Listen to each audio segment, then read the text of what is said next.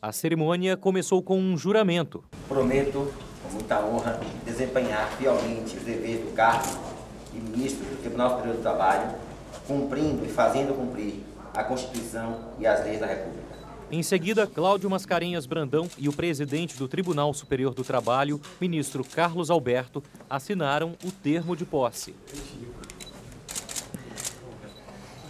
Declaro empossado cargo de ministro do Tribunal Superior do Trabalho, Sua Excelência, o ministro Cláudio Mascarenhas. Até tomar posse como ministro do TST, Cláudio Mascarenhas Brandão ocupava o cargo de desembargador do Tribunal Regional do Trabalho da Quinta Região, com sede na Bahia. Ele também atuou como professor e é autor de diversos livros jurídicos. Brandão entrou para a Justiça do Trabalho há 32 anos como servidor.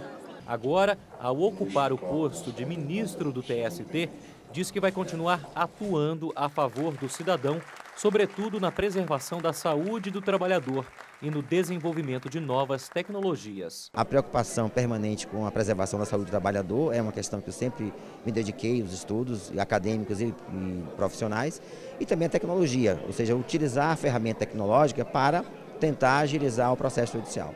Essa cerimônia de posse, que teve caráter administrativo, ocorreu durante o recesso forense do mês de julho aqui no Tribunal Superior do Trabalho. Mesmo assim, o ministro Cláudio Mascarenhas Brandão já assume o gabinete e começa a receber os processos encaminhados a ele, dando reforço às atividades na sétima turma da Corte.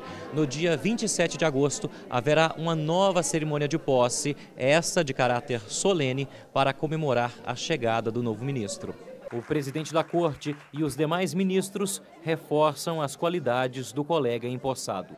Nós temos certeza que será o ministro que vai acrescer muito ao nosso grupo. O ministro Cláudio Bandão é um magistrado temperado pela experiência.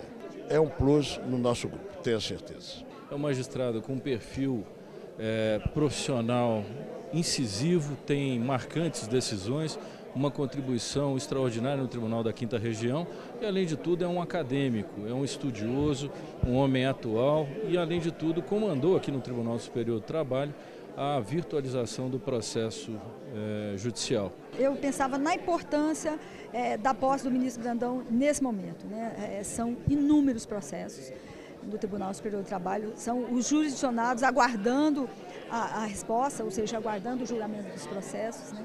E quem já é experimentado na magistratura, como o ministro Brandão, é, é, tem uma contribuição é, muito grande e muito importante a dar é, no Tribunal Superior do Trabalho.